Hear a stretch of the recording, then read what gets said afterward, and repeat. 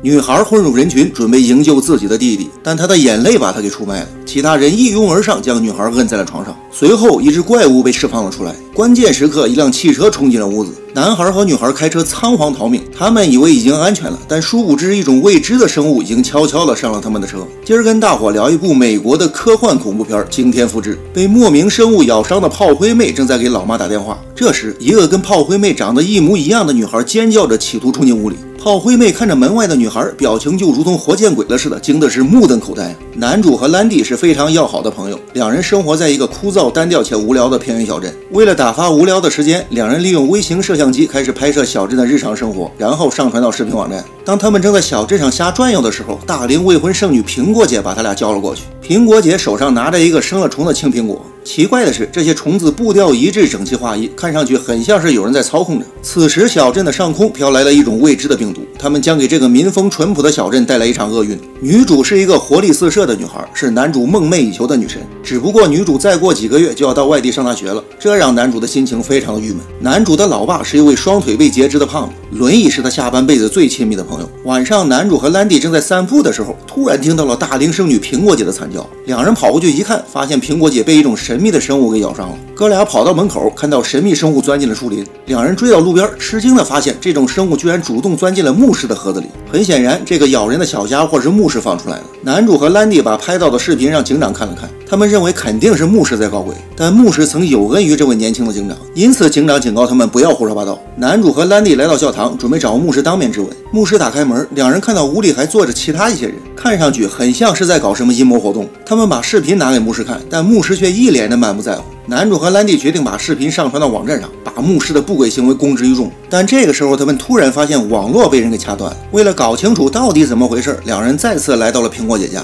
但此时的苹果姐像是换了个人似的，不仅表情冷漠，而且腿上的伤口也不见了。双方正聊着的时候，从里屋传来了叮铃咣当的动静。他们绕到房子的后面，透过窗户看到高中橄榄球队长大壮被苹果姐绑在了床上。但这还不是最诡异的，最诡异的是另外一个大壮居然出现在了窗口。这时候，女主突然不请自来了。说自己的老爸出现了反常的行为举止，表情僵硬，眼神空洞，说话也不着四六，完全就像是一个行尸走肉。男主和兰迪跟着女主到家里一看，果然跟女主描述的一模一样。为了救出女主的弟弟，男主谎称到楼上撒尿，他在卫生间的竹筐里看到了女主老妈的尸体。这时候他们意识到这个小镇真的是出了大事儿，无奈之下，他们只能再次求助于警长。三个高中生在警长的带领下来到了女主家。虽然视频清晰地拍下了女主老妈被害的画面，但警长到楼上的卫生间查看了一番，根本就没有女主老妈的尸体。而就在这个时候，女主的老妈居然又出现了。女主上前拥抱自己的妈咪，但刚一接触，她就觉得这不是自己的老妈。女主本想带走惊慌失措的弟弟，但是被他老妈一口给回绝了。什么也没查到的警长挺生气，认为这一切都是男主和兰迪搞的恶作剧。看着被软禁的弟弟，女主意识到强攻肯定不行，只能想办法智取。三个人回到男主家的仓库，看到男主那位坐轮椅的老爸居然站了起来，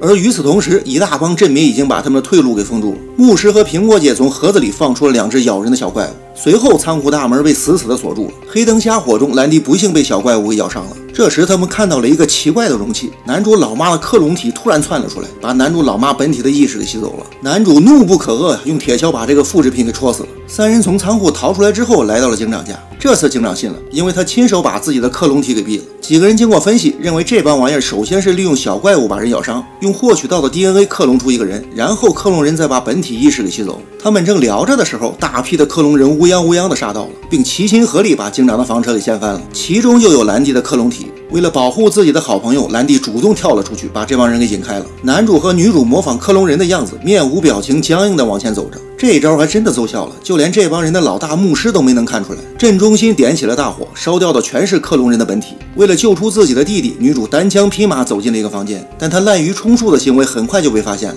眼瞅着女主要遭毒手，男主开车猛地冲了进来。女主的弟弟趁这个机会撒子撩了，两人开车在街道上狂奔，可没跑出多远，男主就被小怪物吭哧咬了一口。此时小镇上的人基本上全被克隆了。为了把这件事传递给外界，两人决定到有线电视公司上传视频。两人在途中遭遇了兰迪的克隆体，男主负责吸引兰迪克隆体的注意力，女主从背后上去就是一板砖，然后两人齐心合力把这个冒牌货淹死在了水里。两人刚刚溜进电视公司，就遭遇了男主的克隆体。就在男主的意识将要被吸走的时候，女主举起大铁棍砸了下去。可就在这个时，候，女主的克隆体也出现了。紧接着，两个复制品开始追杀他们的本体。男主和女主跑进主机房，把拍摄到的视频上传到了网站。很快，两人的克隆体破门而入。男主打开二氧化碳灭火装置，把这二位憋死在了主机房。随后，两人来到了女主家的小木屋，见到了女主的弟弟。这时候，电视上出现了恐怖的画面。原来，很多国家都已经沦陷了，各个城市的街道上全都是行尸走肉般的克隆体。而男主上传到网站上的视频，过了很长时间，播放量都是零。不过，影片的最后还是给人类留下了一丝希望。一些幸存者开始在视频下面留言了。看完这整部影片，我们还是来首唐诗压压惊吧。这个世界很奇幻，总有未知会出现。刚刚送走小非典，又迎来了大新冠，你说讨厌不讨厌？